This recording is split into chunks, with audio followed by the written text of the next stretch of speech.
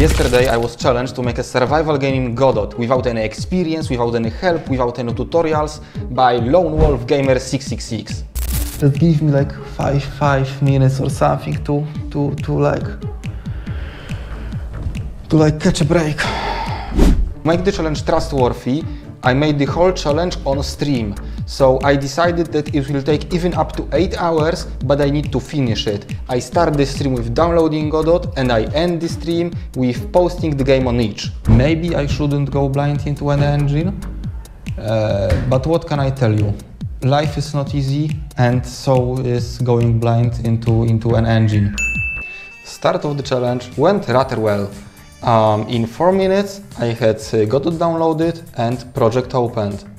Uh, after 1 hour and 15 minutes I had a character controller done and uh, it was uh, pretty good. I fixed stuff like uh, when jumping I couldn't add the momentum. So for example, imagine that you need to like jump on a, on a platform and if you were standing uh, near the platform and pressing W and jumping, you would not get any forward velocity, so you would jump back down. But I think I can go like... Wait, so I don't have any momentum when I'm jumping? So like when I jump first and then go forward? Oh, that's bad. Okay, so that's something we need to change. That's not a good character control. I mean, it's realistic. So what I fix in the controller, I just uh, added the velocity divided by y.5 and uh, that made the player character able to jump on the platforms even without getting velocity before the jump because that was very annoying in this uh, controller I got from Godot. Uh, after 1 hour and 30 minutes, uh, so just in 15 minutes, uh, I was able to pick up items.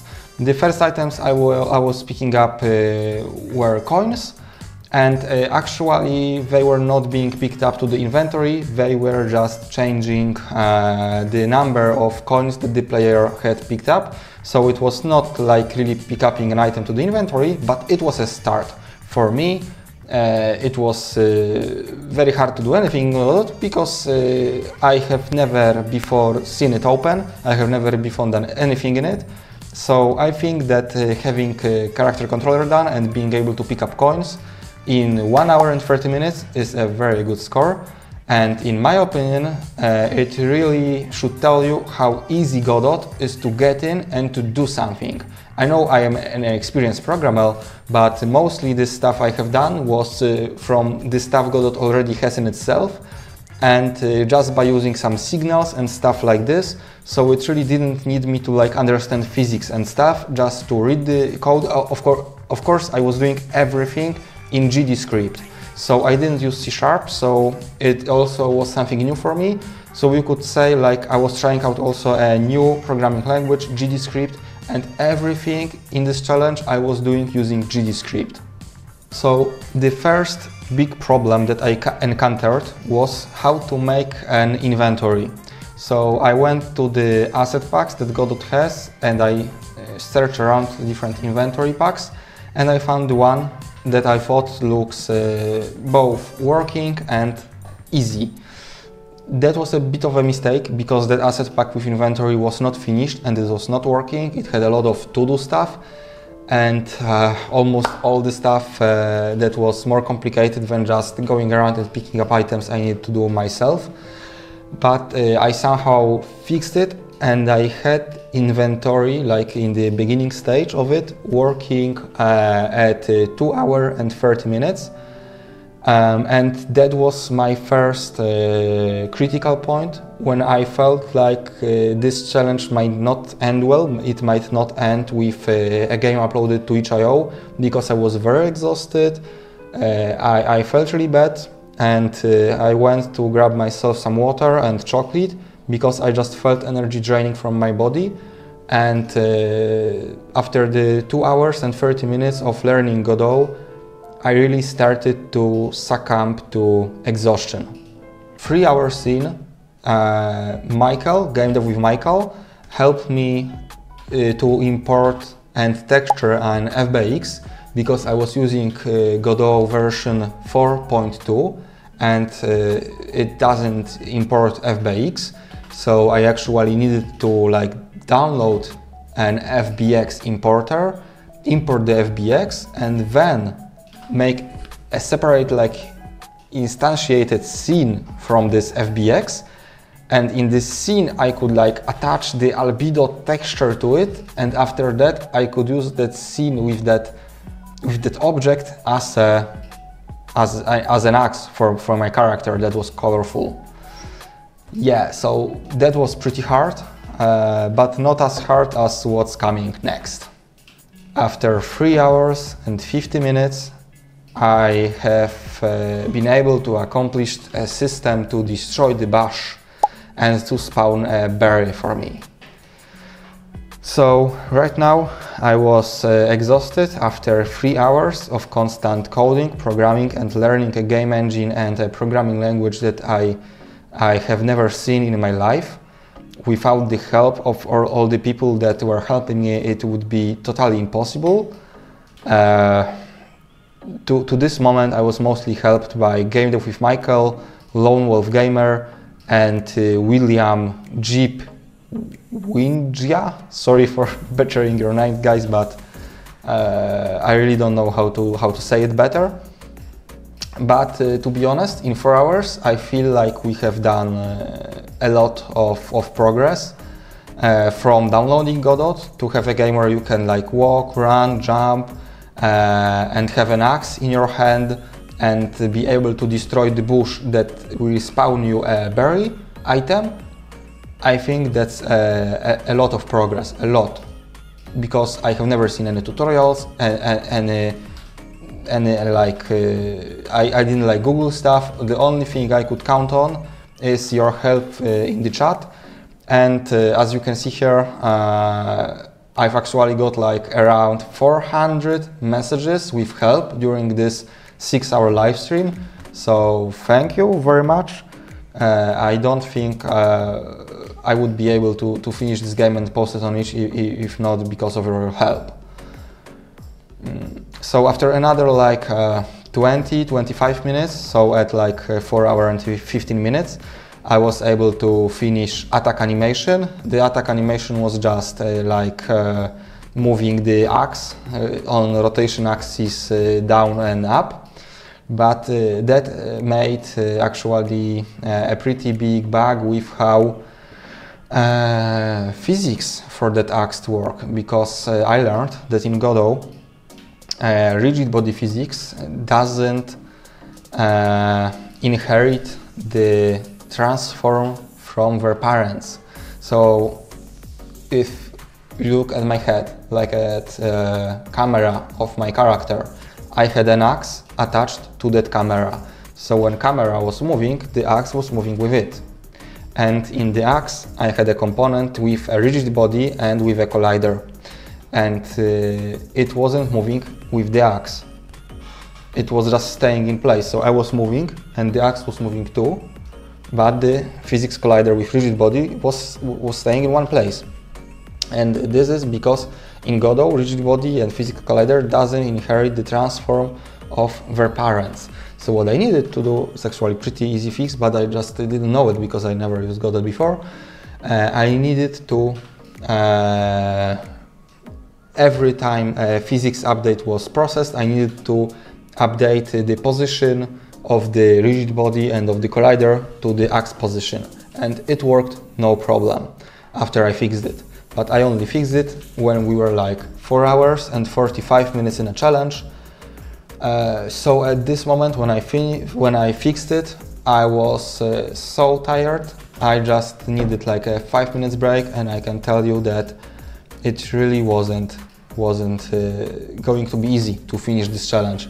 This is like the second uh, critical point in this challenge, and I was like, maybe we'll just finish this challenge and, and, and call it a day. Like we have done a lot right now. We were able to like uh, attack the bush, to, to destroy it, to pick up a berry uh, that was spawned after destroying the bush. The bush. So yeah, it, it was still a lot, like five hours uh, of work.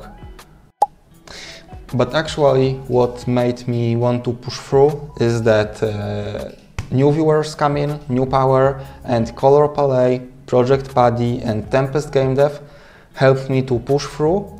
And uh, with some help, I decided that uh, I will let my viewers decide if they want me to just eat the berry or if they want me to craft a blue big drink, big blue drink from two berries and I will be only able to eat the big blue drink after I craft it from two berries. And it took about one and one hour and 50 minutes for, for me and the viewers to realize we are not really doing it. Uh, in the inventory system, uh, there was a big problem with the universal ID, universal item ID uh, setup system. So we couldn't really give uh, unique IDs to the items. And uh, because of this, I weren't able to like uh, make the receipt I have made before for the big blue drink, uh, recognize the berries as the correct item to use in the recipe. So actually what I made, because I was pretty exhausted uh, at, this moment, I just made a hunger bar that depletes like all the time. And uh, to fill it you need to eat a berry. And after you eat a berry I don't even like delete the berry from inventory because that would also need um, this universal item, uh, this unique item ID but I just clear whole inventory of the player. So for a small game like this, I think it's a, it's a, it's a little hacky solution that uh, is making the game playable. But uh, yeah, it's not what it really should be, and it's not what viewers at, at the stream at that moment decided I have to do. And the last part of the stream, the last uh, 22 minutes, was me uploading this game to itch. Firstly, I had a problem because Godot, when you okay, okay so first of all, I had a problem because I needed to make uh, to download an web exporter for Godot. So when I did that, when I downloaded and installed the web exporter for Godot, and when I export the the, the web game, uh, Godot named the HTML file with the name of the game.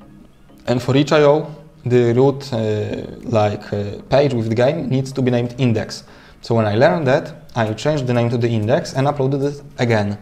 And after that, it uh, the game like tried to run, but I got the error that uh, were, were, were like uh, shared buffers, not uh, not registered or something like that. So I needed to, unfortunately, I needed to like Google it. So uh, yeah, that was the first time I, broke the rule that I can't use any help uh, other than my my help from uh, the from the chat. And uh, I found that you need to like uh, checkbox an experimental feature on the itch.io site for to, to make the Godot game run on it. And uh, that finally fixed it so I was able to play the game, but uh, at that moment I realized that uh, when I play, press escape in the browser, I can't actually free my cursor and go to the inventory tab because escape is disabled the full screen. So what I needed to do again is to go to the Godot game, change input map settings to make inventory from escape to the I button. And after I set it to the I button, I uploaded it to the itch.io and I finished it at 6 hours and 22 minutes in. I finished the challenge.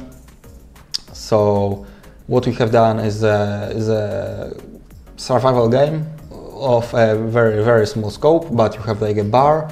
You can like uh, harvest uh, berries from a bushes, and uh, after you harvest the berry from the bushes, you can eat them to replenish your hunger bar. Um, so yeah, that's what the challenge has ended on.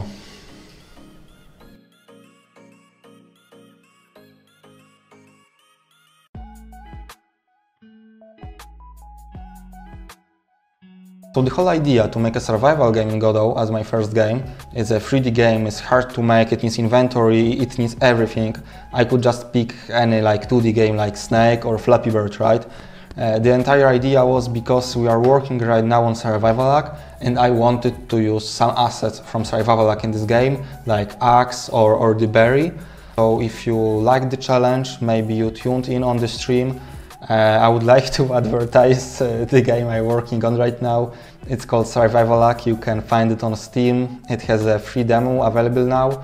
Uh, I try to update the demo as, as fast as I can and as, uh, as often as possible. Um, we really aim for like a fast-paced, uh, action-packed uh, survival game on crack, similar to how Mac was played. Uh, I think we are really going into the right direction. Uh, and uh, if you would like to like wishlist it, follow it and play it and maybe like even give me some feedback, maybe on Discord or like Steam discussions or wherever you want, I would be very happy and yeah, just, just thanks.